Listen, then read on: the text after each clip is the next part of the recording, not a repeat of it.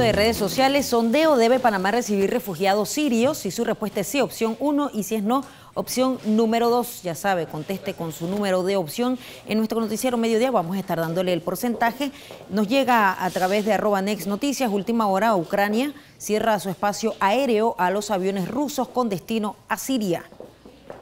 Es lo que sucede a nivel internacional. Austria detiene el tráfico de los trenes de vuelta a Hungría por sobrecarga de refugiados. Ahí están las fotografías de los refugiados. Última hora, Rusia continuará la cooperación técnico-militar con Siria.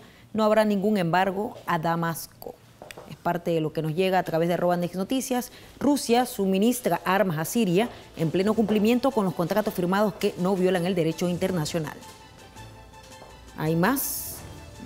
Ahí, ministro del Interior de Hungría propone declarar el estado de emergencia nos llega a través de redes sociales esta información, más de 6.000 evacuados en Japón por las peores inundaciones en décadas.